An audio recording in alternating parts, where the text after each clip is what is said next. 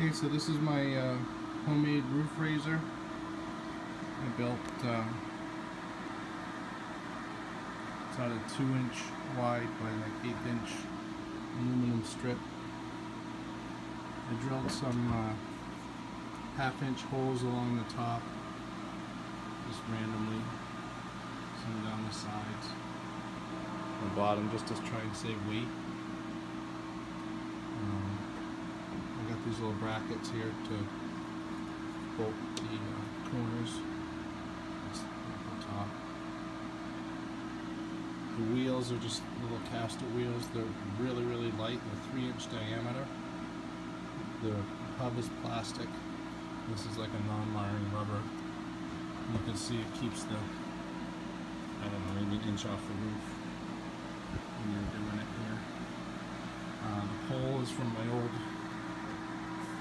um, roof rake. I just cut the middle of it with the sawzall, a couple quarter inch holes, bolted it in the middle bracket there. The middle bracket I didn't drill any holes, just I want to make sure it's uh, strong because it's partly does a lot of the work, you know. Uh, the bracket here I made from the old roof rake bracket, just secured it down to this, uh, of the bolts here in this right angle bracket that's on this, this side. Um, pretty rugged looking, we'll see how it works. It's really, really light, I doesn't weigh anything. Pretty happy with that. Um, I tried really hard, sorry about that. Tried to make it uh, as light as I could, I just wanted to make it strong. And uh, said, it's just another quarter inch length diameter bolt. And this is the pole from that old, um, whatever it is there, roof rake. And uh, these little holes here I drilled, I think there's like 9 or 10 of these, I think they're 5 second holes. And I'm going to use these uh, fender washers to uh, secure the tarp. And then I got some, uh, just a little, I think they're like maybe half inch or whatever, wooden dowels I got at Walmart. I think they're like 97 cents.